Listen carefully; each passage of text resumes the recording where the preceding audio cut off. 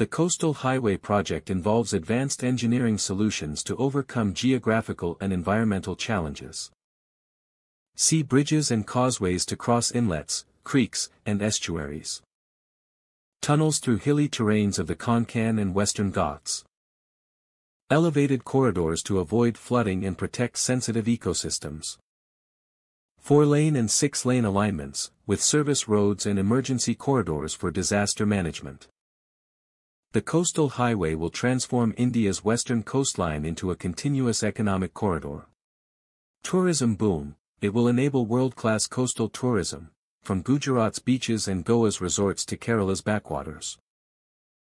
Trade efficiency, faster movement between ports like Mundra, JNPT, Mangalore, Kochi, and Thoothukudi will boost exports and reduce logistics costs. Fisheries and local economies, better road access to coastal villages will improve fish transport, cold storage, and export logistics.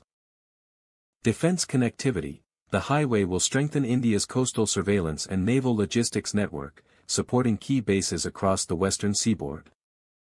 Employment generation, the project is expected to create over 2 lakh direct and indirect jobs during construction and post-completion.